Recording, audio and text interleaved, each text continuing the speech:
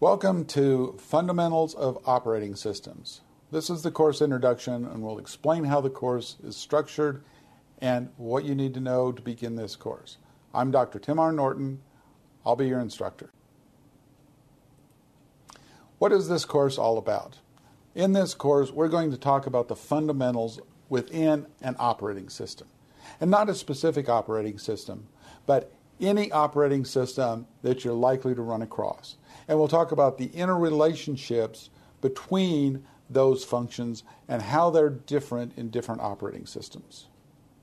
This course has been designed to follow a companion textbook, Modern Operating Systems by Andrew S. Tanenbaum.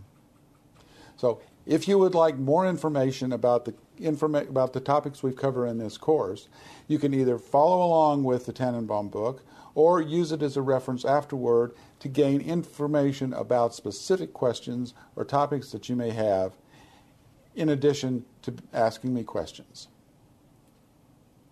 What are the objectives of the course? In this course, we will explain the overall objectives and structure of any modern operating system. This is not geared towards a specific operating system, but things that you will see in any of the modern operating systems today. We will identify the differences and similarities between these different operating systems. Why are some operating systems structured one way and why are other operating systems structured a different way? We'll describe the functions within an operating system, how these functions work, and how they're implemented in different types of operating systems. We'll list what causes an operating, many operating system errors and crashes. We'll use more advanced operating system features to improve productivity. And we'll understand how you choose which operating system approaches best to suit the individual situations. What is it that your application needs, and how can you look at the right operating system to make that choice? What are the prerequisites for this course? Well, since this is a fundamentals course, we really just need an understanding of the general computer use. It helps if you're familiar with using more than one type of computer, but at least be familiar with starting an application, using files, etc., just general computer usage. We also would like a basic exposure to computers connected on a network. This is not a requirement, but it will certainly help because in today's modern operating systems, most systems are connected over a network, and that functionality has become very ingrained in current operating systems. And some knowledge of programming would be will be very helpful. It's not again not required, but understanding how to write a program, what it means to write programs, how to access hardware or make calls to an, app, uh, to an operating system function will be very helpful as we go through this, uh, this course. What are the topics? Well, first we'll talk about an introduction to operating systems at the very basic level. And this will go over some of the very, very basic concepts and get you familiar with what an operating system is in general. And then we'll look at the concepts within an operating system. What are the key things that are included in all operating systems? And then the structure of an operating system and how it differs, differs between different operating systems that you might run across. We'll talk about threads and processes. These are the constructs within an operating system that allows it to actually run programs. How are these similar? How are these different? We'll look at interprocess communication. How does an operating system facilitate communication from one program to another? Scheduling.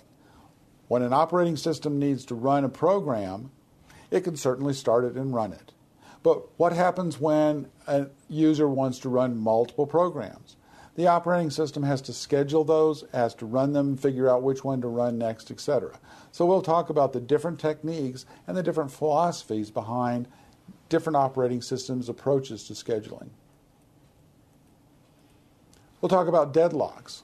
These are the errors or problems that cause machines to seem to quit working, but not fail completely. Memory management. How does the operating system manage that physical memory so that every application can use what it needs without impacting what other applications also need? Input and output. There's not much use for a computer if you can't get data into it and data out. So the operating system manages that input output on many different levels, and we'll talk about how and what techniques are used. File systems.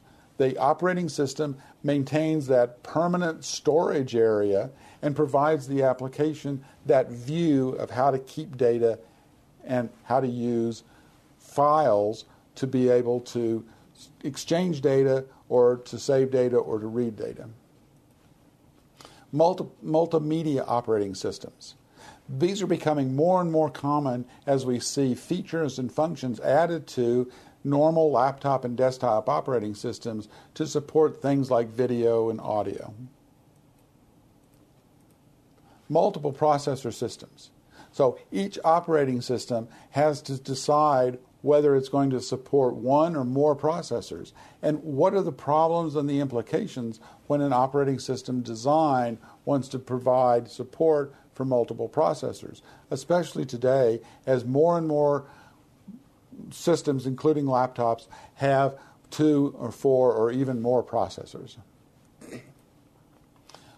Operating system security. Now, this is a very large topic, but we'll touch on that and look at some of the areas as to what is required within the operating system itself to facilitate and make security more important and easier to implement across a computing environment. And then we'll take a quick look at the examples of a couple of our operating system architectures. Quizzes will be found throughout this course, so as we get to a quiz, we'll ask you to stop the video and you can answer the quiz at your leisure, and then we'll go through the answers one by one with some comments. There's a question box for every um, module, so if you have questions, please feel free to enter the questions and send them to me. Okay, are you ready for the fundamentals of operating systems? Let's get started.